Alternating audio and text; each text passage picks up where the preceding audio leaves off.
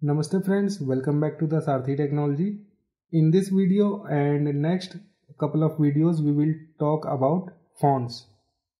So before we start our discussion, just open a PDF and press Ctrl D and then click on the fonts and here you can see list of fonts that is used in this PDF.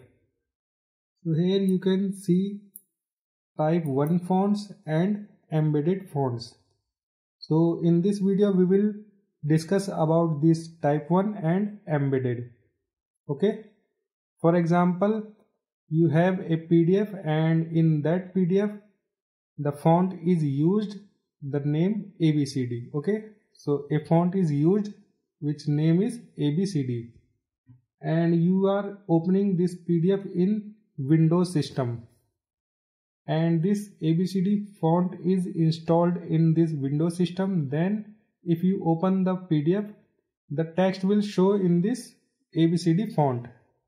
But if you are opening the same PDF on Linux or Mac and if this ABCD font is not installed in this system then the font will replaced with another font okay?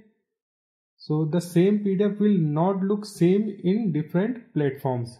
So to overcome this problem there are 14 fonts four helvetica that is normal bold oblique and bold oblique four times roman fonts normal bold italic bold italic four courier fonts and two other fonts symbol and this you can read whatever you want but I am unable to read that. Okay? So these are 14 fonts and these 14 fonts called type 1 fonts. These are 14 fonts that every PDF viewer should be able to recognize and render in a reliable way.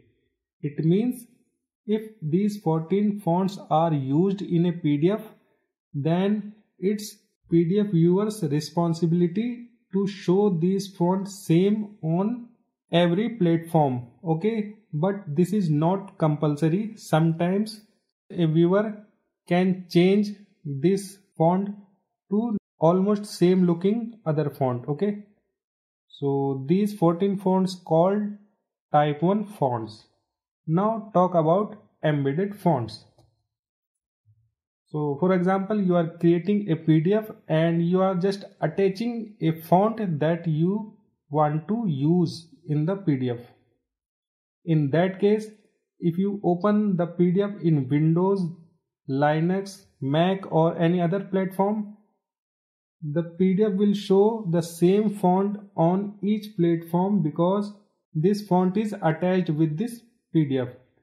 And when you will open this PDF in this window, the same font will be used to show the PDF and same for the Linux, Mac or any other platform like Android and whatever. So this is the story of type 1 font and embedded font.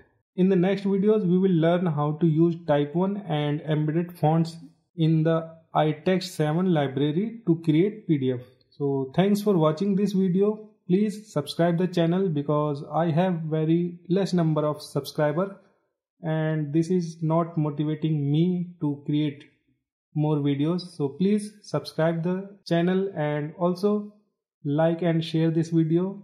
And if you have any doubt then obviously you can write that in the comment box below. So see you in the next video. Till then bye